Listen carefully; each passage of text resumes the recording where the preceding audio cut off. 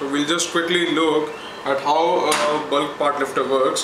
So what we have over here is a 3.5 inch uh, dia housing and this is 6.75 inch uh, length handle and uh, we'll just quickly look at how the scattered pins are going to be picked up by the bulk lifter thereafter uh, saving my fingers from uh, sharp edges or maybe whatever uh, could be hazardous to be picked up by uh, bare hands. So this lifter can pick up to 453 grams of nails. So we'll just have a look how easily it works.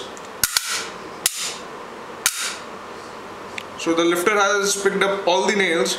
Now to release it, I will simply pull the uh, release lever up. This is a spring loaded lever. So it has released all the nails completely and all the nails are now down again.